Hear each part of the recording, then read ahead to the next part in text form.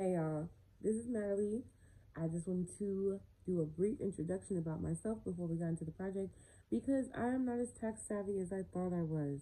And I thought I could do Screamomatic, but um, I'm just going to do this brief intro and then I'm gonna pan to you the PowerPoint and y'all can look at it so you can see the little pictures, see a little razzle dazzle that I did, you know, a little something. So, yeah, my name is Natalie Massey. I had the wonderful experience of working with Priority Veteran United Way. Priority Veteran works coincide with United Way, so it is under one umbrella, but it is Priority Veteran is a program underneath it, as well as 211 and which is the the call center of those in need, and then there's a crisis center as well in the building. But for my internship, I worked with Priority Veteran, which is a program that was created to help homeless veterans and their families who are in need, whether they are literally homeless, which is category one, and then they are facing homelessness by living couch to couch, sorry, couch surfing, living or needing um, assistance, living with living in hotels or motels or living in cars or shelters. Now, when it comes to making a plan with a veteran, they will have the choice of telling us what they need, telling us about their strengths and weaknesses and things that they want to work on. So, our top priority is meeting basic needs, in which is finding housing for a veteran. May be that they need housing tonight or they need housing tomorrow, in the near future, three months from now, three weeks from now. It just is a case by case thing. So, majority of the needs that they have, um, they'll create a plan um, of ma- of creating a housing plan of where they want to be within the next couple days to three weeks, and then we have something called recertification, which is every 90 days but we try to prompt the 80 days so we can move everything accordingly and we can be up to date with information and documents that follow the the program and then follow the case file of the client. Photos of me in the office with the elevator. Now, who do you know that got an elevator in the internship? I mean, it's a job, but nonetheless, it's still cool. That's me with my badge. That's me with my name on those case notes. It says Natalie Massey slash intern. Well, um, comma intern. Um, I had to write that on every document that I signed to prove that I was doing the work and that it went through me. And then I have my United Way logo. Priority Veteran doesn't have logo that I could find, so I didn't do anything about it. And then you have the military because that is a population that we serve. Okay, so for introduction, I had the opportunity to work at Priority Veteran, which is a part of United Way.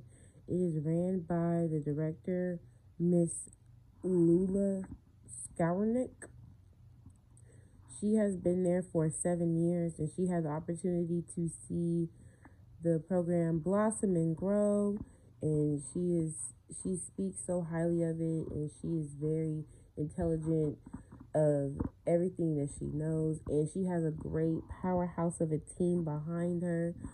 Love that i got the opportunity to get to know everyone create somewhat of a bond with them and understand that they are a, all part of a bigger picture. So the program started in 2013 the program receives funding from the va and the SSVF, which is supportive services for veterans and families, for veteran families. And the way that the program works by providing case management is the caseworkers slash social workers they make referrals to community organizations with resources um, they provide the case management and they develop a plan with each veteran to meet their specific needs. Okay, for the two competencies that I believe that I thoroughly have executed, through my time of the internship or competency one and competency three. Competency one is uh, to demonstrate ethical and professional behavior. This competency basically says that a social worker has to make ethical decisions by applying the standards of the National Association of Social Workers Code of Ethics, relevant laws and regulations, models for ethical decision making, ethical conduct of research, and additional codes of ethics. They should be able to demonstrate professional demeanor in behavior, appearance, in oral, written, and electronic communication. Another part of the competency says that a social worker should use technology ethically and appropriately. An example of this would be at the internship, the office uses the computers for daily use.